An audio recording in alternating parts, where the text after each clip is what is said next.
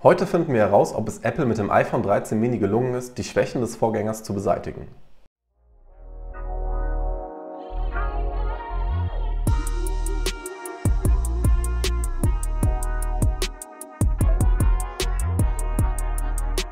Herzlich willkommen zurück auf meinem Kanal. Es freut mich, dass du mal wieder am Start bist und ich hoffe natürlich, dir geht es mindestens genauso prächtig wie immer. Und darüber hinaus hoffe ich, dass du ordentlich Lust mitgebracht hast auf ein weiteres Langzeit-Review hier auf diesem Kanal. Heute schauen wir uns einige Monate nach Release das iPhone 13 Mini, meinen aktuellen Driver an und eventuell sogar das letzte Mini-Modell, das Apple jemals auf den Markt bringen wird. So könnt ihr ganz einfach von meinen Erfahrungen profitieren und eine potenzielle Kaufentscheidung leichter fällen. Ich würde sagen, wir schnacken gar nicht länger um den heißen Brei und finden jetzt gemeinsam heraus, ob es Apple gelungen ist, das iPhone 12 Mini besser zu machen bzw. die Problembereiche, die das iPhone 12 Mini mit sich gebracht hat, auszubügeln. Wenn euch das Video am Ende gefallen oder sogar geholfen hat, dann würde es mich mega freuen und natürlich auch unterstützen, wenn ihr dem ganzen Käse noch einen Daumen nach oben, einen Kommentar oder sogar ein Abo gebt. Mit dem iPhone 13 Mini bringt Apple auch im Jahr 2021 erneut ein kompaktes Flaggschiff-Modell auf den Markt. Während die Abmessungen im Vergleich zum Vorgängermodell, dem iPhone 12 Mini, weitestgehend unverändert geblieben sind, war vor allem der genaue Blick auf die damaligen Problembereiche spannend. Hat sich die Akkulaufzeit verbessert? Ist die Notch geschrumpft? Sind die Displayränder kleiner geworden und bekommen wir nun endlich ein 90 oder sogar 120 Hertz Display? Optisch hat sich wie bereits gesagt nicht allzu viel getan. Die Kameras sind nun diagonal angeordnet und das 13 Mini bringt, dadurch dass es minimal dicker geworden ist, etwas mehr auf die Waage.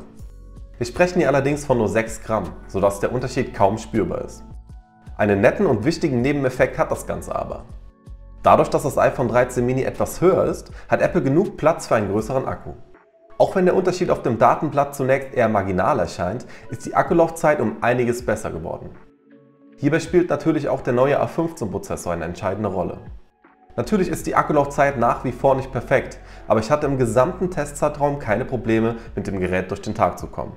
Ich denke grundsätzlich sind Heavy-User einfach nicht die Zielgruppe, die mit der Mini-Reihe angesprochen werden sollte. Wer den halben Tag am Smartphone hängt, legt natürlich Wert auf ein großes Display und auch die Augen werden sich auf Dauer dafür bedanken. Als normaler Nutzer mit einer maximalen Screentime von ca. 4 bis 5 Stunden am Tag fährt man mit dem iPhone 13 mini allerdings sehr gut. Was die Kamera angeht, hat das iPhone 13 mini tatsächlich dieselbe Kamera wie der große Bruder, also das iPhone 13. Und darüber hinaus haben beide Smartphones, also das iPhone 13 und das iPhone 12 mini, die Hauptkamera des Top-Modells aus dem Vorjahr, also die des iPhone 12 Pro Max geerbt. Man sieht, es ist Kameraleistung im Handy. Wir haben wie auch schon das Vorgängermodell zwei Kameralinsen, die diesmal allerdings nicht untereinander, sondern quasi diagonal angeordnet sind. Beide Linsen haben 12 Megapixel, eine ist eine Weitwinkellinse und die andere eine Ultraweitwinkellinse. So ziemlich alle Kamerafunktionen, die man sich vorstellen kann, wurden im Vergleich zum Vorgänger nochmal ordentlich verbessert. Das heißt, der Porträtmodus wurde um einiges besser, der Nachtmodus wurde nochmal um einiges verbessert und auch der Videomodus wurde verbessert und erweitert. Was wesentlich stärker auffällt, als ich anfangs erwartet habe, ist der Effekt der Sensorshift-Technologie, also die Technologie, die dafür sorgt, dass die Bilder, wenn man Videos dreht, wesentlich weniger verwackelt sind. Wie gerade schon erwähnt, wurde der Videomodus nicht nur verbessert, sondern auch erweitert. Erweitert im Sinne von einem neuen Modus. Der Kinomodus kam neu dazu. Grob zusammengefasst ist der Kinomodus sowas wie ein erweiterter Porträtmodus im Videobereich. Das heißt, wir sind in der Lage, Unschärfe zu erzeugen und diese Unschärfe, nachdem wir das Video abgedreht haben, auch noch zu bearbeiten. Das heißt, die Intensität einzustellen und den Unschärfebereich auch quasi auszutauschen. Man kann sich das ungefähr so vorstellen. Jetzt in diesem Beispiel bin ich im Fokus. Der Hintergrund ist unscharf und der Kinomodus würde es uns jetzt erlauben, quasi die Unschärfe von mir auf den Hintergrundbereich quasi zu lenken. Man kann also zusammengefasst sagen, dass die Kameras des iPhone 13 Mini sowohl im Fotografiebereich als auch im Videobereich wirklich ganz oben mitspielen. Auch die Displaygröße wurde nicht angepasst und somit gab es auch, was die Displayränder angeht, keine Optimierung. Wobei das nur die halbe Wahrheit ist. Eine gravierende Änderung gab es in Bezug auf das Display doch. Die Notch wurde endlich verkleinert und passt nun wesentlich besser zu dem 5,4 Zoll Bildschirm. Darüber hinaus erreicht das kleine Display nun eine maximale Helligkeit von 800 Nits, also fast 200 Nits mehr als der Vorgänger. Eine kurze Randnotiz zum Thema Display hätte ich noch.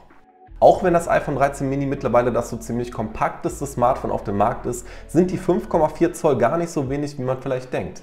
Zum Vergleich, die Plus-Modelle aus der Vergangenheit, also beispielsweise das iPhone 7 oder 8 Plus, hatten mit 5,5 Zoll ein vergleichbar großes Display. Zum damaligen Zeitpunkt nannte man solche Smartphones by the way Phablet. Kompakt ist das 13 Mini also nur im direkten Vergleich zum heutigen Standard. Was die Ausstattung angeht, profitiert das 13 Mini vor allem vom neuen A15 Prozessor. Der Arbeitsspeicher ist leider gleich geblieben.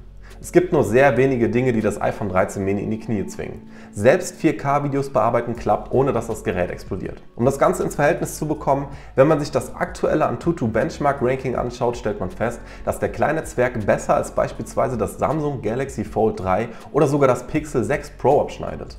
Außerdem wurde die 64 GB Speichervariante komplett gestrichen, was in meinen Augen längst überfällig war. So wird das Mini in der kleinsten Variante mit 128 und in der größten Modifikation mit 512 GB Speicher bestückt. Wie sieht jetzt also mein finales Fazit zum iPhone 13 Mini aus? Wird es mein Daily Driver bleiben und bin ich zufrieden mit dem, was Apple da fabriziert hat? Wir fassen dazu nochmal ganz kurz zusammen, was passiert ist, beziehungsweise was Apple getan hat, um das Ganze zu optimieren. Zum einen ist das die Notch. Das war für mich persönlich auch ein sehr, sehr wichtiger Punkt, konkret beim iPhone 12 Mini, beziehungsweise beim iPhone 13 Mini, denn die Notch war auf allen Geräten gleich groß. Das heißt, wir hatten auf dem iPhone 12 Mini dieselbe Notch wie auf dem iPhone 12 Pro Max. Das heißt, das ganz große Gerät hatte dieselbe Notch Notch-Größe wie das ganz kleine Gerät. Das hat für meinen Geschmack einfach nicht so wirklich gepasst. Dementsprechend bin ich sehr froh, dass Apple zumindest die Notch geringfügig angepasst hat. Für meinen Geschmack hätte das Ganze aber noch ein bisschen mehr komprimiert werden können, aber ich vermute mal, das war dann mit den Sensoren nicht mehr so wirklich möglich. Dennoch ein wichtiger und richtiger Schritt. Dann wurde das Gerät etwas dicker, um einen größeren Akku zu verbauen. Das war auch ein extrem wichtiger Punkt, wenn nicht sogar der wichtigste Punkt, denn dadurch haben wir eine wesentlich bessere Akkulaufzeit und ich sage bewusst wesentlich, denn die Akkulaufzeit ist wesentlich wesentlich besser mit bis zu anderthalb Stunden mehr am Tag. Damit kommt eigentlich jeder normale User über den Tag, es sei denn, man ist jetzt wirklich so ein Heavy-User und hängt nur am Smartphone. Aber wie ich eben schon gesagt habe, ist das iPhone 13 Mini einfach nicht für Heavy-User gedacht in meinen Augen, sondern eher für normale Nutzer. Gerade in Kombination mit dem neuen A15-Prozessor und der Software muss man einfach sagen, dass die Akkulaufzeit auf jeden Fall deutlich verbessert wurde. Bei den Kameras muss man einfach sagen, Apple lieferte einfach ein sehr, sehr starkes Gesamtpaket ab. Immer wieder, auch schon beim Vorgänger war das der Fall. Da passt einfach alles zusammen, sowohl Fotografie als auch der Videobereich wird super abgedeckt. Neue Funktionen kamen dazu. Alte Funktionen wurden verbessert, da kann man wirklich gar nicht meckern. Es gibt allerdings drei etwas kleinere Punkte, die mir nicht ganz so gut gefallen. Das sind aber Punkte, mit denen ich leben kann und wahrscheinlich auch muss, dadurch, dass es höchstwahrscheinlich kein iPhone 14 Mini geben wird. Zum einen betrifft das die Displayränder, die leider nicht kleiner geworden sind, aber das ist wie gesagt ein Punkt, mit dem ich absolut leben kann. Zum anderen geht es um das Display an sich. Wir haben erneut kein 90 oder 120 Hertz Display bekommen, was ich sehr schade finde. Das ist im Android-Bereich mittlerweile bei Smartphones, die pff, 200 Euro kosten oder sowas möglich. Also wäre es auch hier potenziell möglich gewesen. Und der dritte Punkt betrifft den Arbeitsspeicher. Wir haben hier erneut, wie beim Vorgänger auch, nur 4 GB verbaut. Das ist schon relativ wenig. Man muss allerdings dazu sagen, dass man das gar nicht so arg im Alltag spürt, dadurch, dass der Prozessor so stark und effizient arbeitet. Muss man sagen, auch beim Multitasking hat man wenig Probleme, aber dennoch wäre es im Jahr 2021, Ende 2021 doch möglich gewesen, dem Ganzen 6 GB zu verpassen und der Pro Reihe dann beispielsweise 8 GB. Also ich denke mal, das wäre jetzt nicht das Problem gewesen.